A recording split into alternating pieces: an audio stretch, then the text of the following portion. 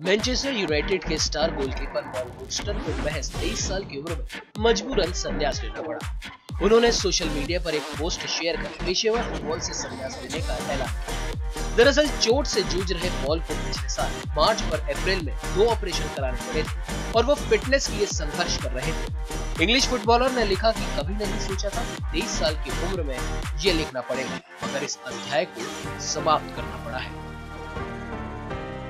मैंने अपने कैरियर में जो कुछ भी हासिल किया, उसे मैं गर्व से बोल सकता हूँ। मगर भविष्य में जो कुछ भी होने वाला है, उसे लेकर उत्साहित एक नए अध्याय का इंतज़ार है। न्यूकैसल यूनाइटेड अंडर 18 के इस क्लब के खिलाफ खेलते हुए पॉल ने अपने प्रदर्शन से हर किसी को प्रभावित किया था और फिर इसके बाद 2018 में वो मैनचेस्टर यूनाइटेड से जुड़। गए थे दस साल की उम्र में संडरलैंड एफसी में शामिल होने के बाद पॉल 2015 में मैकपाई के लिए रवाना हुए 2016-17 में चैंपियनशिप जीतने वाले सीज़न में वो क्लब के 30 पसंदीदा गोलकीपर